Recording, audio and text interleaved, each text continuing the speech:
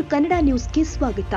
ಬೆಳಗಾವಿ ನಗರದ ರಸ್ತೆಯೊಂದರ ಅಗಲೀಕರಣದಲ್ಲಿ ಭೂಮಿ ಕಳೆದುಕೊಂಡಿದ್ದ ಭೂಮಿ ಮಾಲೀಕರಿಗೆ ಮರಳಿ ಜಾಗವನ್ನ ವಾಪಸ್ ಕೊಡಲು ಪಾಲಿಕೆ ಒಪ್ಪಿಕೊಂಡ ಬೆಳವಣಿಗೆ ಜರುಗಿದೆ. ಈ ಪ್ರಕರಣಕ್ಕೆ ಸಂಬಂಧಪಟ್ಟಂತೆ ಧಾರವಾಡ ಹೈಕೋರ್ಟ್ನಲ್ಲಿ ಮಹತ್ವದ ವಿಚಾರಣೆ ಜರುಗಿದ್ದು, ಬೆಳಗಾವಿ ಜನರಿಗೆ ಈಗ ಬಿಗ್ ರಿಲೀಫ್ ಸಿಕ್ಕಂತಾಗಿದೆ. ಪರಿಹಾರ ಅಥವಾ ರಸ್ತೆ ಜಮೀನು ವಾಪಸ್ ಕೊಡ್ತಾರಾ ಎಂದು ಕೇಳಿದ ಕೋರ್ಟ್ ಪ್ರಶ್ನೆಗೆ ಪಾಲಿಕೆ ಪರ ವಕೀಲರು ಜಮೀನನ್ನು ವಾಪಸ್ ಕೊಡುವ ಬಗ್ಗೆ ಮಾಹಿತಿ ನೀಡಿದ್ದಾರೆ. ಈ ಮುಂದಿನ ವಿಚಾರಣೆ ವೇಳೆಯಲ್ಲಿ ಅಫಿಡವಿಟ್ ಸಲ್ಲಿಕೆ ಮಾಡಲು ವಕೀಲರಿಗೆ ಕೋರ್ಟ್ ಸೂಚನೆ ಕೊಟ್ಟಿದೆ. ಈ ಬೆಳವಣಿಗೆಯಿಂದ ಬೆಳಗಾವಿ ಮಹಾನಗರ ಪಾಲಿಕೆಗೆ ಎದುರಾಗಿದ್ದ ಸಂಕಷ್ಟ ಸದ್ಯ ದೂರಾಗಿದೆ.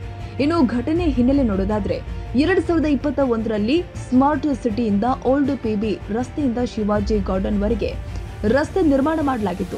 ಬಳಿಕ ಭೂಮಿ ಕಳೆದುಕೊಂಡ ಉದ್ಯಮಿ ಬಿಟಿ ಪಾಟೀಲ್ ಪರಿಹಾರಕ್ಕಾಗಿ ಕೋರ್ಟ್ ಮೆಟ್ಟಿಲೇರಿದ್ರು.